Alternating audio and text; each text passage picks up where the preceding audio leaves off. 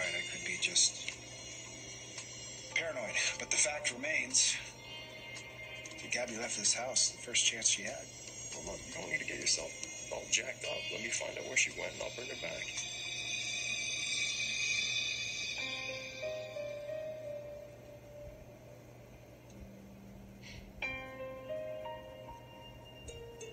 It's me.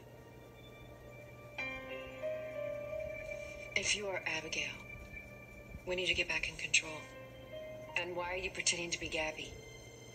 I've been Abigail for a long time. I just had to pretend that I was Gabby in order to persuade Stefan to get me released. Well, you could have told your doctors at Bayview, or you could have told your family. I mean, even if they all believed me, maybe, maybe I could have gotten out of there, but Stefan still wouldn't have let me anywhere near Charlotte. I understand you want to be close to your child.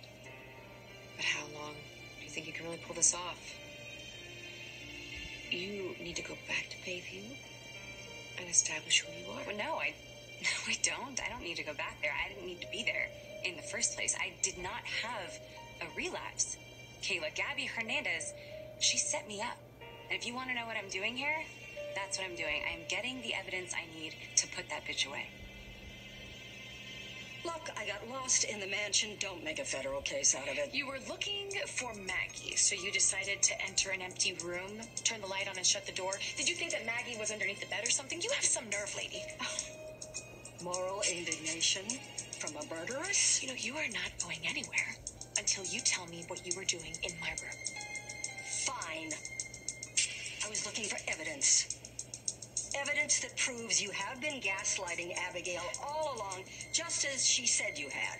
Because I don't have any difficulty believing that you could be that cruel, that cold hearted, that evil.